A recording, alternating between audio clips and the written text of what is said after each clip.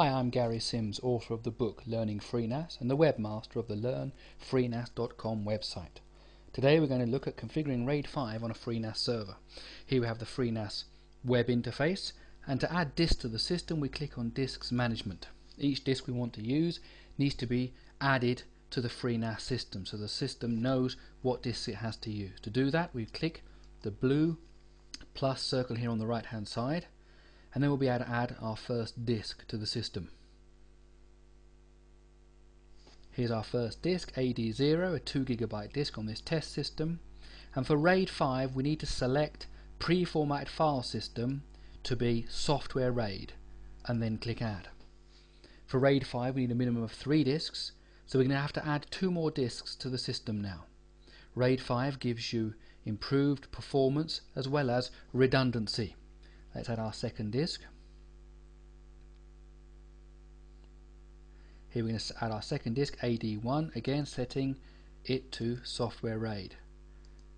If one of the disks fails in a RAID 5 system, the other two disks carry on working and contain all of the data and there's no data loss.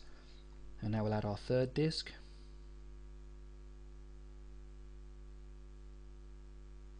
Here it is again, AD3, software RAID, If there has been a failure you can replace the broken disk and then the three disks will be synchronized again, the RAID array will be rebuilt so that it contains all of the information and nothing will have been lost. If your hardware supports it this can be done in uh, without turning off the server, it could be hot swapping.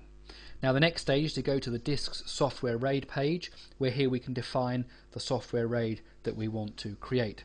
We're going to use RAID 5. Here we can see that FreeNAS supports RAID 0 and RAID 1 as well as RAID 5. Click the add circle to add our RAID 5 array.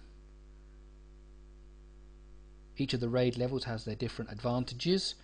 RAID 5 here using all three disks and then create an initialize. RAID 1 for example only needs two disks that's a mirroring system. Now once this RAID is created here it is now. We can apply the changes. We'll be able to go to the format page and format this RAID array just as if it was one disk. And here we can see that there is a, a RAID 5 created and it's in the status of rebuilding. And it's very important that you wait as the note says here until this says complete before we go on to the format page. So we'll click the RAID 5 tab again to get an update of that and hopefully we'll see. Now it's still rebuilding so we'll wait a moment. Now an interesting thing to notice the RAID size the size of this RAID array is 4 gigabytes. We've added three disks each of 2 gigabytes each. Now obviously 2 times 3 is 6 so we would expect 6 gigabytes. But actually what happens is is that because a third of the space is used for storing redundancy information so that if a disk fails the rest of the system can carry on working, you get uh, one third less of the space available for uh, storage. But of course, in benefit, you get the uh, redundancy. This should be rebuilt soon, and then we'll be able to move on to the formatting page.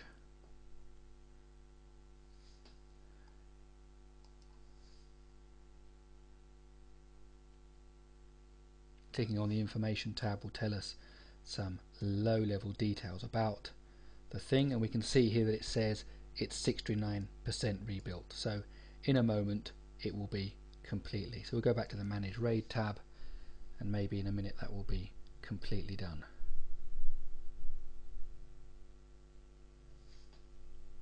Just try that one more time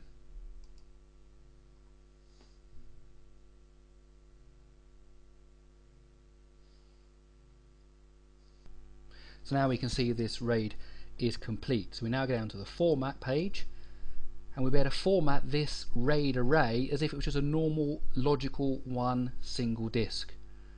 It won't see three disks, so here when we choose disk we'll just see one which is called RAID 5 which is of 4 gigabytes but physically it's made up of three disks. Now we can give it a name RAID 5 and we can format the disk. Do we really want to format it? Yes we do and this will go away and format all three disks together as one RAID set and here we're coming out with the output and you can see at the end the reassuring done telling us that it's all been successful. And that's it. Now you can go on and you can configure the Windows networking, you can configure NFS, Apple File, sharing, any other of the protocols that FreeNAS supports, and that disk will be available to the whole network. Well, thanks for watching. You can get more tips on using FreeNAS at the learnfreenas.com website, and of course, my book, Learning FreeNAS, is available on Amazon. Thank you.